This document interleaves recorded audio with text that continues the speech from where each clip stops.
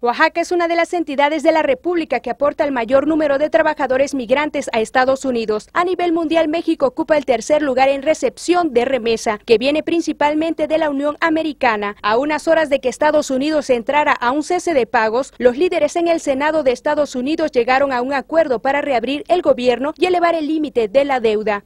El líder de la mayoría demócrata, Harry Reid, y su contraparte republicana, Mitch McConnell, presentaron el acuerdo ante el Pleno del Senado ser aprobado el acuerdo, este daría fondos al gobierno hasta el 15 de enero y elevaría el límite de la deuda hasta el 7 de febrero, lo que evitaría un default, según anunció Reid. Aún así, aprobar dicho acuerdo a través del proceso legislativo podría tomar un par de días más. El acuerdo establece negociaciones sobre el presupuesto entre la Cámara de Representantes y el Senado a fin de aprobar un plan de gastos a largo plazo e incluiría una previsión que incrementa las medidas de verificación para gente que busca subsidios del gobierno bajo la nueva reforma de salud del presidente Barack Obama, conocida como Obamacare. Según un vocero del líder republicano en la Cámara de Representantes, aún no se toma una decisión sobre cómo o cuándo un potencial acuerdo del Senado sería votado por los representantes. Este jueves es el día en el que el Departamento de Tesoro quedará sin maniobras contables especiales para mantener a la nación bajo el límite de deuda.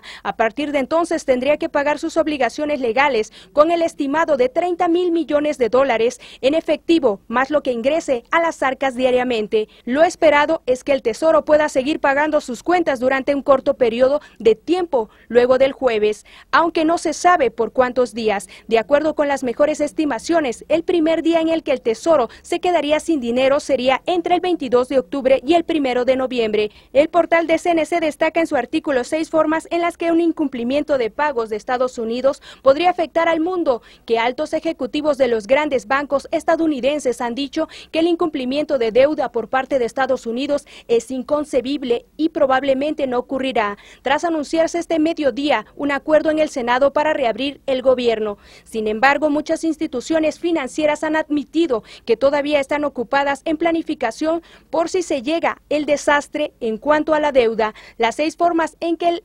incumplimiento afectaría al mundo son una caída global del mercado de acciones, una recesión global, colapso de los fondos del mercado monetario, una demanda de fondos en los bancos, algunas instituciones financieras fallarán, los préstamos se bloquean.